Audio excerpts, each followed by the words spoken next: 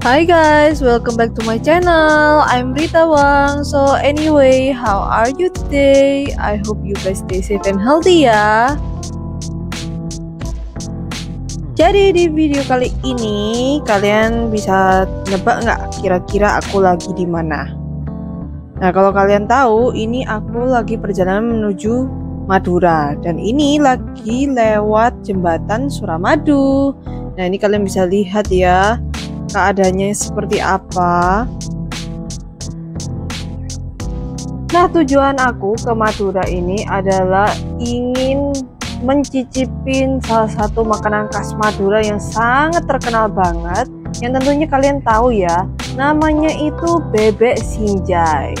Dan ini aku kayak kepingin banget karena rasanya itu kayak beda aja. Walaupun di Surabaya itu ada bebek sinjai juga tapi katanya ya yang paling enak tetap di Madura. So ya guys ikuti terus ya video kali ini. Buat kalian yang pecinta bebek goreng kayak aku kayaknya kalian bakal suka deh sama bebek sinjai ini. Karena bebek sinjai ini super terkenal ya. Bebeknya itu nggak cuman enak tapi sambal pencitnya itu yang katanya orang-orang itu betul-betul khas banget. Jadi fresh. Pokoknya beda lah daripada bebek goreng lainnya. Nah apakah itu betul? Nanti aku akan kasih review jujur. Jadi kalian harus stay tune ya. Karena banyak sekali orang-orang dari luar kota itu bela-belain waktu mereka ke Surabaya itu nyebrang ke Madura untuk cari bebek sinjai ini. Karena betul-betul sekas itu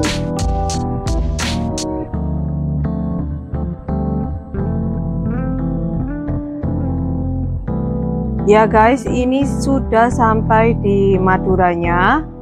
Nah, beberapa orang itu mungkin ada yang tanya ya, kenapa kak kok suka ngevideoin jalanannya doang, terus kadang jalanannya lama. Ya karena aku gak cuman mau nunjukin vlog makan makanan aja, tapi aku juga mau ngajak kalian tuh jalan-jalan gitu loh. Jadi aku nggak videoin jalanan itu buat kalian bisa lihat-lihat oh jalanan di Surabaya itu seperti ini terus jalanan di Madura itu seperti ini. Jadi kalian tuh ada feel seperti ikut jalan-jalan juga sama aku.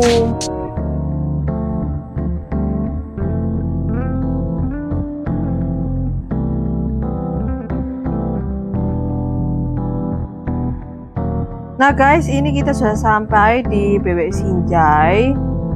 Ya, for your information juga di Madura ini saking terkenalnya banget bebek goreng itu.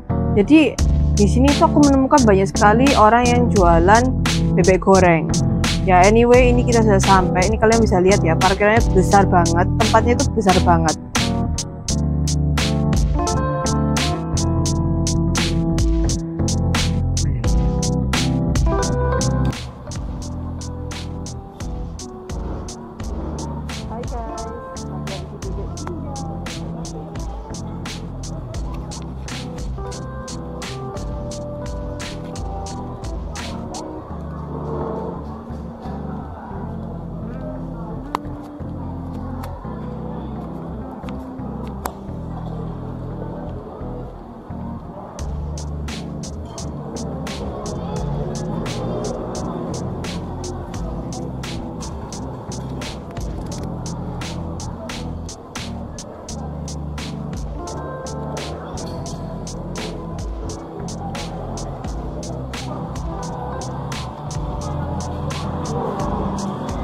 Guys, tempatnya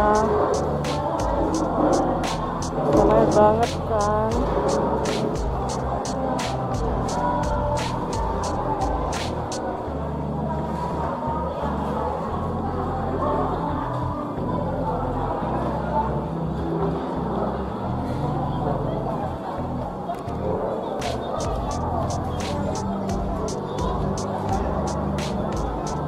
Tempatnya juga luas ya. A few moments later. Oke guys, akhirnya primadonanya datang juga. Ini adalah nasi bebek, terus plus minumnya juga dan sambal pencitnya. Untuk harganya ini 30.000 dan menurut aku ini terjangkau ya. untuk rasanya ini sudah tidak bisa diragukan lagi ini kalian bisa lihat ya dagingnya aja itu kayak gampang copot gitu loh dari tulangnya itu menandakan bahwa bebek ini sangat lembut terus yang aku rasain ini rasanya gurih pokoknya sedap dan enak banget. Nah ini untuk sambal pencitnya ini kalian bisa lihat. Orang itu biasanya nyariin sambal pencitnya bebek sinjai ini. Dan memang betul setelah aku rasain memang sangat berbeda sekali. Ya fresh banget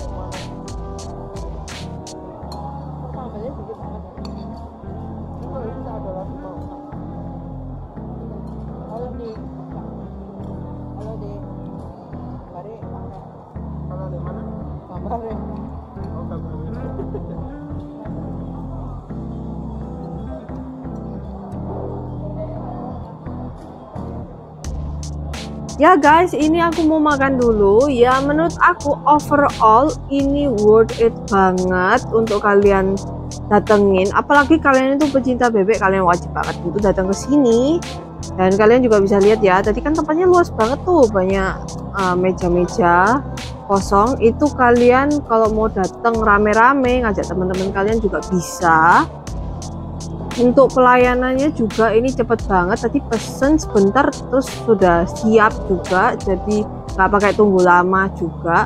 Nah menurut aku ini untuk secara porsi juga besar nasinya banyak terus untuk bebeknya itu aku pilih yang paha.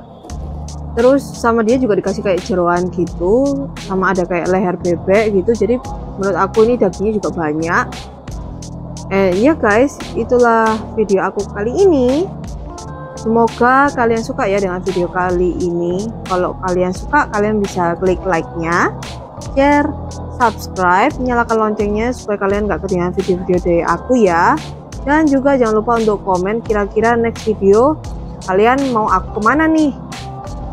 So ya guys jangan lupa juga untuk follow aku di instagram @ritawang1 underscore ya guys. Supaya kita juga bisa berteman gitu loh. So ya yeah guys that's all for today. Mohon maaf bila ada salah kata and I see you in my next video. Bye bye